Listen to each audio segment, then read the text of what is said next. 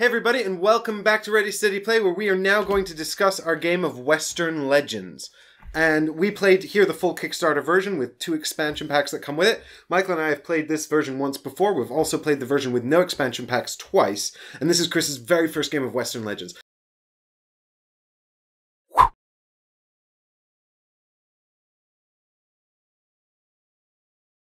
So why don't we start with you, Chris, because you've played it the least. How was your first impression? Uh, the first impression it made when it was on the table and I was uh, learning how to play was was very positive. I thought I thought it looked really good. Um, I was, I was looking forward to playing it. Uh, my my initial reaction after one game is it's really really it's very it's very pleasing. Mm-hmm. The way everything the way the way the way the, the way the game flows is extremely. I was just going to say it's very quick. Yeah, it's very quick for the most part. It suffer it can suffer from a bit of AP, but not an enormous amount. If if Mm-hmm. you, even if yeah, someone at the start, and you're like, "Ooh, I don't know what to do." Yeah, it might, to do. the sandbox nature of it kind of did, as I said, overwhelm me a little bit to begin with. But then um, it was wasn't long before I, I decided what I, I, before I kind of I some certain actions I started started being my blind spot, and I was I was only focusing on um cer- particular aspects of the game. Yeah. as I said, it's very pleasing, very enjoyable because it looks really nice on the table. That's it what I like it about it, feels you yeah. feel like you're building up. Like I feel quite like I'm different from you guys. I got my my my my rifle, which I don't really use, but I got my rifle, my lady mule, and I got my three items. I feel quite distinguished distinguished from the other players Yeah. in my terms of my abilities. Um, so it's really really pleasing. Um, I find it the moment to moment, turn to turn, just act of playing it very enjoyable. Um, if I take a step back and look at it objectively, I think there are some serious design flaws in it. yeah, Um, so it's re- so so. Well, I won't go into those. I'll let you guys have a have a bit of a say before we start maybe talking about, about particulars. But but my initial impression is really, really, really enjoy it despite some crippling flaws. Hmm. Yeah, my uh, my first experience of playing this, which was just the basic set, which doesn't use the legendary tokens and it doesn't have half of the items and it doesn't have a lot of stuff that was present here. When I first played it, I got super suckered in, and I sort of uh, I I really can see how that could have happened. I really enjoyed it. I, I, I really, uh, we were playing it at Essen actually, and it was being demoed. And the guy who was demoing it, uh, I'd started off here. I was a bandit again. I wanted, I think I might have been Billy the Kid actually. And um, I immediately wanted to just walk into town and rob someone. Yeah, and the yeah. guy who's demoing it was like, "Why don't you try these cows?" And I was like, "No, I'm robbing that guy." he was like, "Are you sure you don't want a cow?" I was like, "I'm robbing that guy." He's like, "Let me just check the rules for robbing." he, he, he also probably didn't want you to potentially Ruin that guy's day? Yeah, Yeah. yeah, because he wants that guy to buy the game too, right? Yeah, So, yeah. you know. And I was like, um, I can't remember the guy's name. I think it was Dave or Rob. Damn it, sorry, Dave or Dave Rob. or Rob. Um, Two virgins. I think it was Dave. I'm pretty sure it was Dave. I'm going with Dave. Dave. I'm so, sorry, Dave. Dave. High Um. I was like, um, I'm really sorry, Dave, uh, but I, I'll- I, I just wanted to see how it worked, and I, I robbed him, and that was a lot of fun. He had nothing I could steal at that point in the game, and just did it 'cause I just did it because I wanted to, and uh, I was immediately like sort of enamored with it. I was like, this is great. Yeah, I, I had the same initial reaction by looking at it. I understand where you're coming from there. And I still feel like in isolation, a lot of the actions you take and a lot of the elements come together to feel very Wild Wester. West definitely, one hundred percent agree. You're, I- you're you're saying a similar thing to me, I I suppose. Yeah, in- in- in In- different yeah, but. I'm kind I've got a huge butt coming up as well. Well, yeah, but so do, so do I. yeah, we both do. Well, I, How are you, I, Michael? I genuinely really liked it as well. Um, I have played it three times now, um, and I've been both a baddie and a goodie. Um, and I feel In this game, you were both. You're baddie both and in the this goody. game, which is kind of cool. was. Yeah. It's kinda- and you Um, won, which is interesting. It's exciting. Um, so, and I like that aspect of it, how you can, Yeah. how it can flip, and you you can change your strategy if if you feel like people are think you're running away with it because you're getting too many points on the wanted tracker and then want to change tack and change your whole strategy. I like that element of it, and like you said, Chris, I like the design of it. It really draws me in. I'm a sucker for anything Western and historic or anything like this. So this ticks a lot of boxes for me. But I also think that.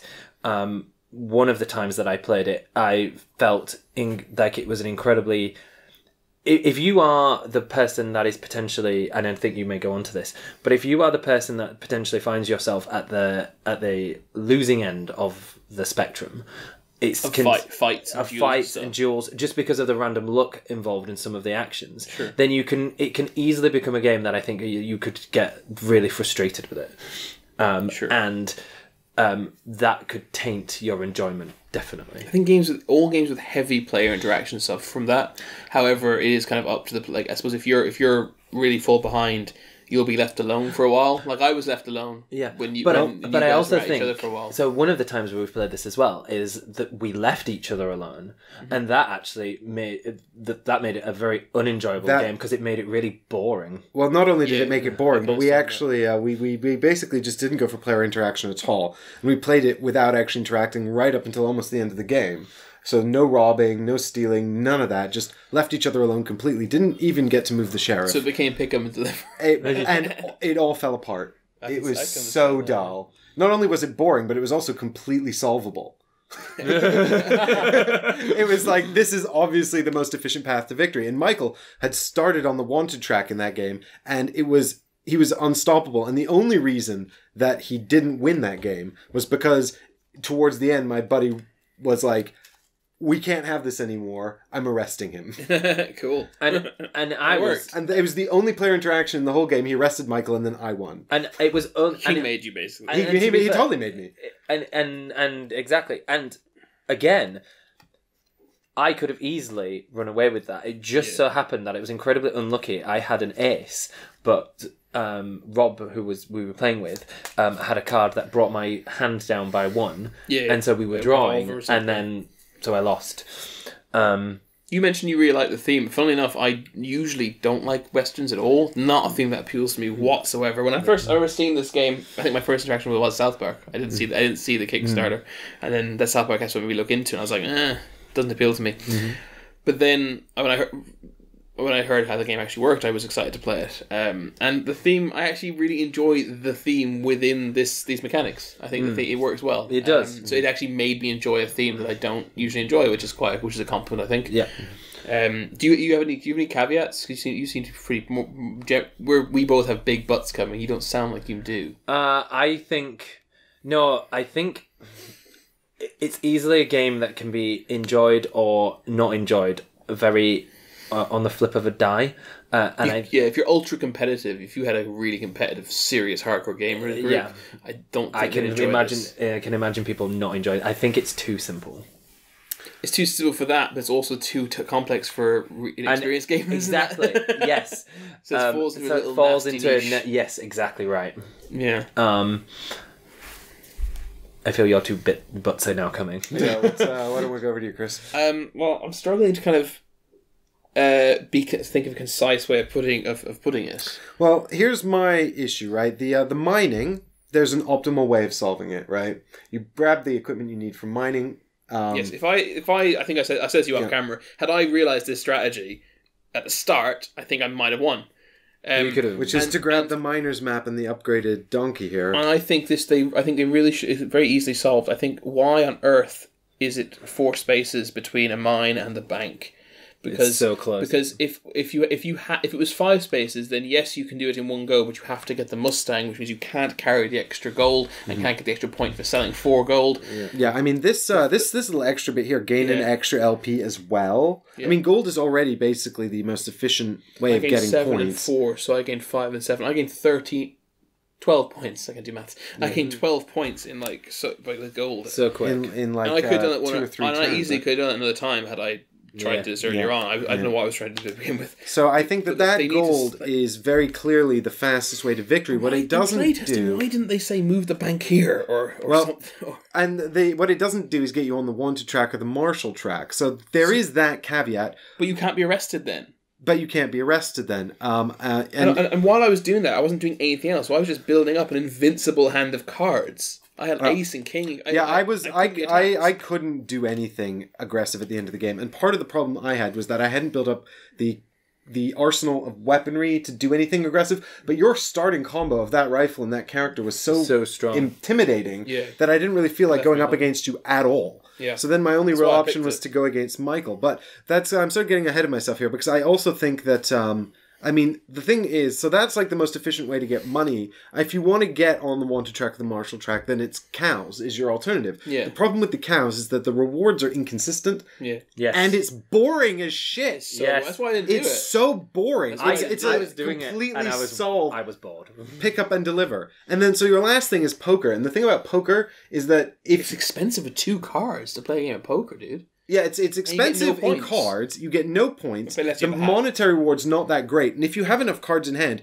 and you're not playing against another real person, I mean, you're obviously playing against a real person, right? Because someone plays the dealer. Yeah. But if you have enough cards in hand going in, it's almost unlosable. I don't understand why. And you can get a play point with the 10 gallon Why would hat, you ever play poker when you can mine? Just you can go just and do mine. the gold. Yeah. Yeah. Makes no sense. And yeah, I mean, I didn't. I mean, when you when when the game's explained, I mean, So I, heard, it's- I heard it's- about the cows. I was just yeah. like, You can- I'm, I'm not doing that. you I'm can- not doing cow. you can get pickups. robbed.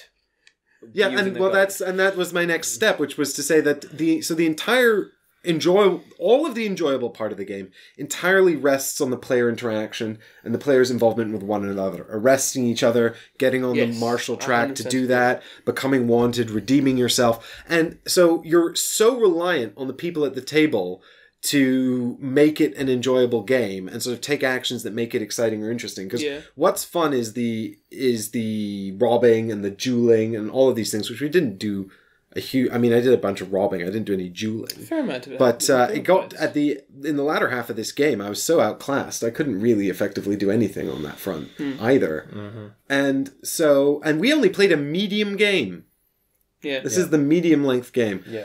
So i'm a little concerned that it's just it's just a little there's just not enough substance there Do you know what I think? No, there isn't. It, it wouldn't. It wouldn't. It, uh, yeah, I don't, I- I don't see Yeah. this coming being evergreen. This you wouldn't keep cracking this out. This is, I'm Mm-hmm. really glad I played this. But and if you invited me over next week and said, "Hey, do you want to come play Western Legends again?" I'd say yes, I would. But I don't know how many more times I would. I think the third time then I might say, is, you "Can we play something Something else?" Yeah. Do you know what I think is also quite broken? Mm. How you can deposit all your gold and get all that money and then rob it in the same turn. Yeah, that's yeah crazy. and then you get three on the wanted track i mean rob the bank three times that's one turn and you get maxed out wanted And I, I considered doing that at one point because my cards were so strong. I, I and I possibly should have. Maybe I'd have won because I'd have gotten three. Started getting one points earlier. I thought well, I wouldn't have won actually, but I might have done better. You get Um, loads of money for that. You get like eighty dollars.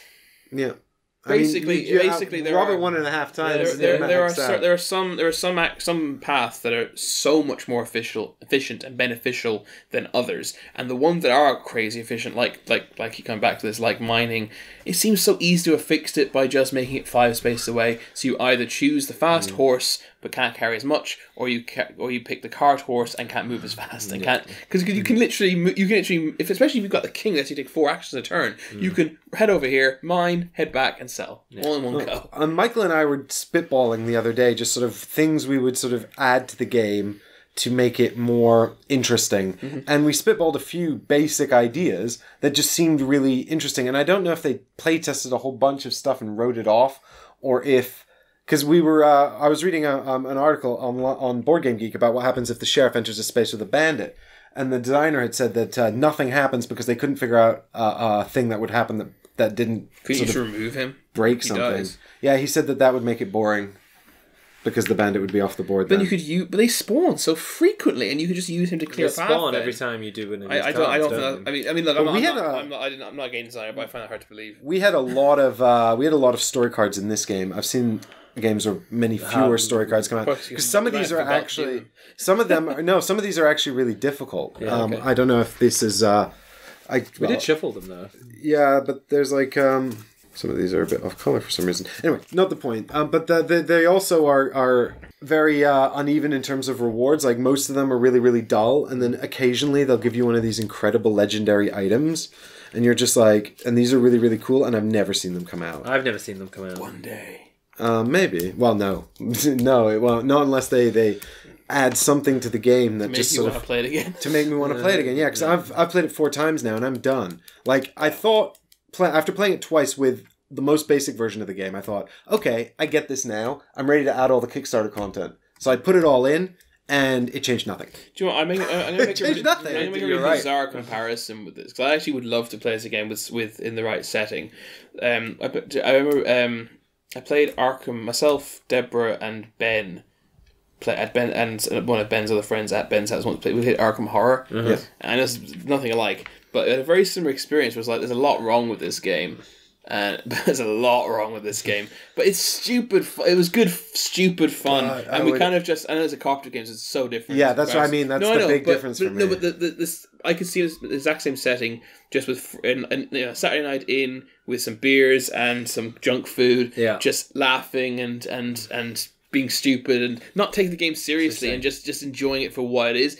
That's the kind of game this would be for me, and that's exactly Yeah. how I felt. Yeah. For, I know it's a bizarre comparison, but that's this. This to me is like a beer and pretzels stupid night in. Yeah, Yeah. Yeah, laughing at a game. I, I feel I could bring this to people that I know and they would enjoy it just for uh, the simplicity because it is really what that's one of its main selling points that it's very Simple, quick yeah. to set up and to learn. And there's but there's hilarious stuff that can happen, like. It's, it's- Um, yeah. I mean, I guess so. It is quick, but then again, I think that it's quick to set up and learn with people who are board gamers.